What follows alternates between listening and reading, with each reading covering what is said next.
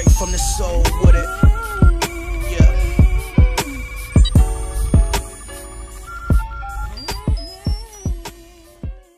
So today I was listening to ESPN LA radio and they were having a discussion about Rajon Rondo obviously getting the starting job over Lonzo Ball. So Travis Rogers posed a question to LZ about Lonzo Ball being in the game in the fourth quarter and pressure moments. So Travis Rogers asked LZ, "Do you think by the time the Lakers figure out what they have, and he wasn't talking about this season or 20 to 25 games into the season, like he's talking about once they get into the meat of everything and once they figure everything out, what are they going to do during real game? He said the end of the season and you're jockeying for the playoffs. He says he thinks Rondo has to be the guy in the game at the end. Or he knows that the media is caught into if Rondo should actually be a starter or should he be a six man. He says he think with the five guys at the end of the game that he wouldn't be shocked if Rajon Rondo is not one of those guys in the starting five lineup. So that's when LZ Granderson responded by saying, I would be shocked because you have to train Lonzo to be ready for these moments. Shielding him away from these moments doesn't help him, doesn't help the franchise. Then he makes a comparison or an analogy like if you can't use Aaron Rodgers in the fourth quarter of games, then what are we doing here?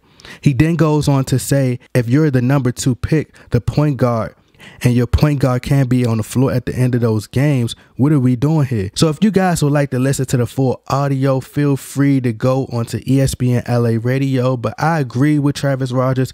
Until Lonzo Ball proved that he could show up in clutch moments, then I'll keep Rajon Rondo in fourth quarter clutch moments just based on experience. From time to time, I would throw him in the fire just to see if he's ready. But to be quite honest with you guys, I haven't been really too caught up into this media frenzy of who will start Lonzo or Rondo because there were already reports that came out probably weeks ago that Rondo would get the starter job due to Lonzo Ball knee and them wanting to be patient and not rushing back into things. I hear that pretty soon he'll be ready to go and scrimmage with 515 contact. But to me, I think it's all smoke and mirrors and I think it's somewhat strategic because once the Lakers are about 15 or 20 games in or so, then the chatter and tons of headlines will circulate like, when will Lonzo Ball come in? I wouldn't be surprised if LaVar Ball comes out and generate all these headlines saying like, the Lakers need to play my boy. Then the interview gonna ask LaVar, but is your son healthy though?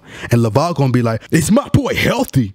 Of course, my boy is healthy. My boy healthier than a vegan. My boy healthier than a rabbit eating vegetable. My boy so healthy, he living his best life and yours. So I think it's I think it's all strategic and just a huge distraction.